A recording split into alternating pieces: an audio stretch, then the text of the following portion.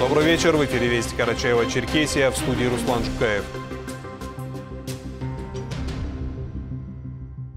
Более 30 часов спасатели Карачаева-Черкесии проводили поисковые работы на Эльбрусе. И сегодня ближе к вечеру обнаружили группу туристов из Беларуси на высоте 3800 э, метров э, под вершиной горы Утюг. Подъем на высоту сопровождался сильным ветром и снегом. Поисково-спасательная операция завершена успешно, все живы. Глава Карачаева-Черкесии Рашид Тимирезов выразил слова благодарности всем участникам, сотрудникам МЧС по граnuправлению, сотрудникам органов внутренних дел, управления ГОУЧС по республике, всем добровольцам и неравнодушным гражданам. Еще раз напомнил о регистрации туристических групп в МЧС при выходе на маршрут. Карачаево-Черкесии при поддержке главы республики Рашида Тимрезова готовится к открытию филиал фонда поддержки участников специальной военной операции. Сегодня в Доме правительства состоялось заседание, на котором заместитель председателя правительства Ирина Гербекова подробно рассказала о работе регионального фонда «Защитники Отечества», об оказании помощи не только ветеранам СФО и семьям военнослужащих и всем ветеранам боевых действий. Отделение будет работать по взаимодействию с Министерством труда и социального развития, Министерством здравоохранения, здравоохранения, МФЦ и другими ведомствами для комплексного оказания помощи. Проведена определенная работа и зарегистрирован государственный фонд, который с 1 июня должен начать работу на территории нашей республики. В рамках подготовительной работы Министерством труда проведена э, подборка такой, как бы, кастинг тех сотрудников, которые будут представлять собой фонд. Государственный фонд на сегодняшний день возглавляет по нашему предложению, по согласованию с Федерацией, председатель, а, вернее, руководитель да, этого фонда Абазалиев Марат Мухтарович. На сегодняшний день наши социальные координаторы прошли первичную подготовку. Вы все будете размещаться в своих э, муниципальных образованиях. Э, рабочие места для вас подготовлены. Мы э, создадим, конечно, все условия для того, чтобы вы могли эффективно выполнять свою работу. Очередной груз гуманитарной помощи из Карачаева-Черкесии отправился в зону специальной военной операции. Продовольствие, продовольствие, одежда, предметы личной гигиены, медикаменты, э, палатки, различные приборы и многое другое. Подробности у Мурата Джанкезова. Кроме обычных предметов и продовольствия, которые собраны по просьбе самих военнослужащих, на этот раз дополнили гуманитарку с сотнями свежих хачинов и десятками литров целебного айрана.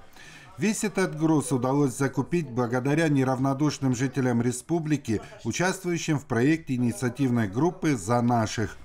Усилиями волонтеров удается ежемесячно отправлять десятки тонн продовольствия, медикаментов и других необходимых вещей – считанные минуты посылки перенесли в грузовик. Руководитель инициативной группы Асхат Айсандыров вместе с сыном принял самое активное участие в погрузке гуманитарной помощи.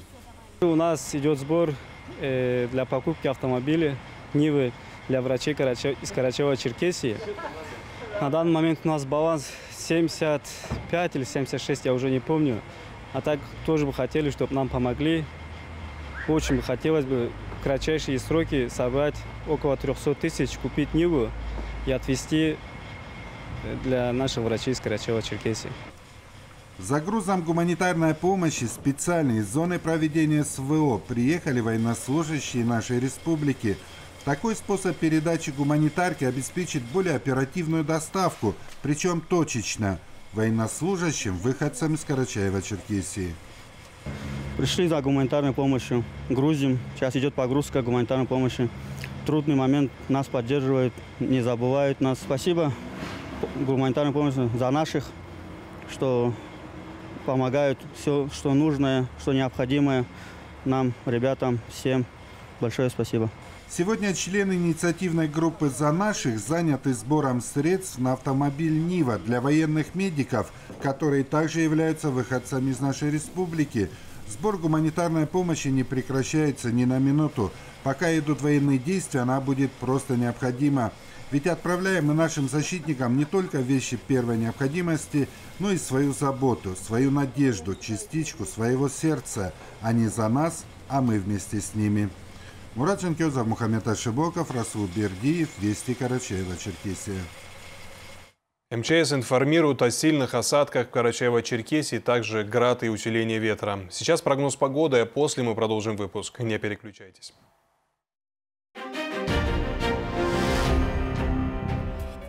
В Карачаево-Черкесии местами кратковременный дождь и гроза, в отдельных районах сильный, с градом и шквалом до 23 метров в секунду.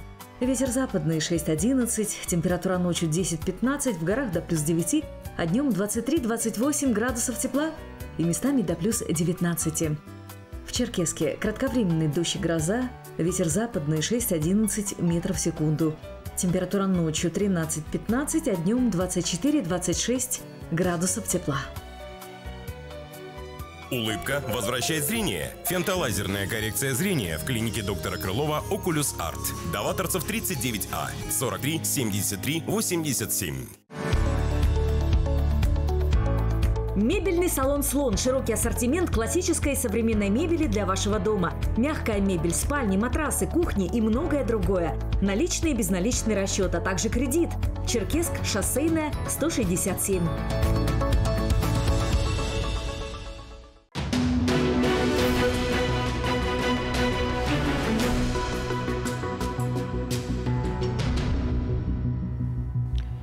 Сегодня день славянской письменности и культуры. Жителей Карачаева-Черкесии поздравляет глава республики Рашид Тимрезов.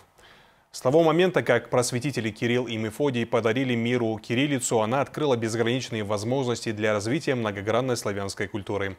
Этот праздник способствует взаимопониманию и развитию диалога и сближению культур нашего государства, где бережно относятся к разнообразному и богатейшему духовному наследию всех этносов. Напоминает о необходимости сохранения самых важных ценностей в жизни каждого народа – языка, культуры и истории. Празднование Дня славянской письменности в Карачаево-Черкесии уже стало доброй традицией. В этот день во всех православных храмах республики прошли богослужения, а на центральной площади города Черкеска состоялся крестный ход и молебен у памятника просветителям. Дарья Тендит продолжит тему. Ежегодно 24 мая в России и других славянских странах отмечается День славянской письменности и культуры.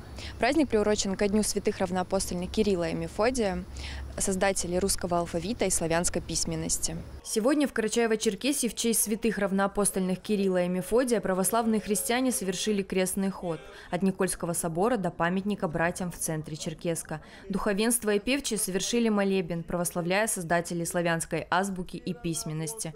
Крестный ход является символом нашей благодарности и символом победы образования над непросвещенностью. Церковь их православляет не только за труды. Они показали пример высокой, глубокой, чистой и святой жизни, отметил настоятель Покровского храма Александр Нартов. Язык – это душа любого народа. И благодаря Кириллу и Мефодию мы э, имеем э, ту жизнь, которую э, с радостью передаем нашим детям и нашим внукам. Будем хранить наш язык, будем хранить нашу культуру, будем приумножать ее, чтобы быть достойными продолжателями того великого подвига, которые оставили нам святые братья. Разработанная Кириллом и Мефодием письменность оказала огромное влияние на развитие русской книжности и литературы. Братья создали корпус текстов на славянском языке, который давал представление об основных нормах христианского мира и литературного языка. Славянская письменность, как основа культурного наследия, объединила многонациональные народы, проживающие на территории России. От имени правительства Карачаева-Черкесии поздравила всех с этим великим праздником министр образования и науки науки Инна Кравченко. Она отметила, что сегодняшний день имеет огромное значение для науки и образования. День славянской письменности и культуры служит напоминанием о национальном и духовном единстве всех людей, которые имеют общие истоки, единые традиции, обычаи и культуру. Сегодня мы с особым вниманием обращаемся к истокам отечественной словесности – Говорим о бережном э, отношении к родному языку, о его возможности выступать средством международного общения. Главное значение этого дня – сохранение и популяризация культуры и письменности народов. Студенты педагогического колледжа имени Умара Хабекова в своем выступлении подчеркнули значимость развития культуры, отметили влияние русского языка и письменности на нашу жизнь. Первую очередь русский язык существует для нас, и благодаря нам он продолжает свое существование и развитие. Сохранив его, мы сохраним единство нашей великой страны. Благодаря русскому языку и русской культуре в мире появились такие замечательные и выдающиеся мастера слова, как Александр Сергеевич Пушкин, Лев Николаевич Толстой. Спасибо святым братьям Кириллу и Мефодию за то, что подарили нам славянскую азбуку. Салунские братья – гордость всего славянского народа, этот праздник объединяет и славянские, и многие другие народы, и каждый должен знать, ценить свою историю, беречь и почитать то, что передали нам наши предки. Мероприятие завершилось возложением цветов к памятнику святым братьям Кириллу и Мефодию. Дарья Тендит, Мухаммед Ашибоков, Вести Карачаева-Черкесия. В рамках Года педагога и наставника в Кочегу имени Умара Алиева прошли 19-е Кирилло-Мефодиевские чтения. Всероссийская научная конференция, посвященная просветителям, собрала участников из различных регионов России. О работе научного форума Алихан Лепшоков. Вот уже с 2004 года Всероссийская научно-практическая конференция собирает в стенах вуза представителей правительства и духовенства республики, ученых-языковедов, научных работников, студентов. И в этот раз 19-е Кирилло-Мефодиевские чтения собрали многих ученых из разных регионов России – Сегодня не просто день славянской письменности и культуры, но и день патриотизма, так как русский язык объединяет всех жителей нашей многонациональной страны, отметил, открывая мероприятие, исполняющий обязанности ректора КЧГУ Таусултан Узденов. Вот уже полтора ста лет на культурном пространстве Российской Федерации. Сперва Российской империи, Советского Союза, сегодня Российской Федерации, Карачаева-Черкесии – культурный человек, образованный человек, и все, что у нас ассоциируется с просвещением, связано с русским языком, с русской литературой. Также от имени мэра Карачаевска всех участников конференции поприветствовал его заместитель Азрет Караев. Русские просветители Кирилл и Мефодий подарили нам уникальный язык, который объединяет множество народов нашей страны. И сегодня подобные мероприятия позволяют не просто окунуться в историю становления кириллицы, но и познать сакральные ее смыслы, отмечали участники Кирилла-Мефодиевских чтений. У нас пять газет выходят в нашем доме печать. Они говорят о на разных языках, говорят о разных народах, но они все написаны на кириллице. И то, что в нашей многонациональной республике все наши проживающие народы могут сохранить свою культуру, свой язык, свою идентичность, это архиважно в мультикультурном социуме. Это происходит благодаря тому подарку, который нам сделали святые Кирилл и Мефодий. Доклады участников пленарного заседания конференции были посвящены роли братьев Кирилла и Мефодия в становлении русской письменности, роли языка в становлении гражданской позиции школьников, а также о практике преподавания русского языка в школе и в ВУЗе. Помимо пленарного заседания, работа конференции продолжилась и в секционной части. Научный форум позволит ученым обменяться профессиональным опытом со своими коллегами из разных регионов страны. Алихан Лепшоков, Аслан Гирюгов, Вести Карачаева-Черкесия, Карачаевск. Полицейские и члены общественного совета провели мероприятие по профилактике экстремизма и терроризма в Государственной академии.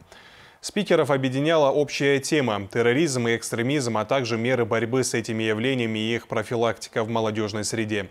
Подробно остановились на вопросах правовой грамотности молодежи, разъяснили основные составы административной и уголовной ответственности за совершение преступлений и правонарушений, в том числе экстремистской направленности и террористического характера, совершаемые посредством использования сети интернет, и напомнили о мерах ответственности. В Центре молодежного инновационного творчества прошла всероссийская акция «Мы граждане России». На торжественную церемонию пригласили около трех десятков юношей и девушек из различных муниципальных образований Карачаево-Черкесской республики. Каждый получил основной документ гражданина Российской Федерации. Такой формат был организован при непосредственном участии регионального движения первых, Министерства по делам молодежи и МВД не случайно. Праздничная атмосфера, в которой оказались ребята, запомнится им надолго. Не отбираем ребят э, там по принципу э, ты отличник, ты спортсмен, а наоборот мы хотим этой акцией вовлечь ребят в движение, чтобы они понимали, что они очень ценны для своей страны, для движения в целом, и, конечно же, чтобы каждый нашел себе занятие по душе в нашем движении. Это все вести на сегодня. Прямо сейчас смотрите продолжение фильма «Земский доктор». Всего доброго и до встречи в эфире.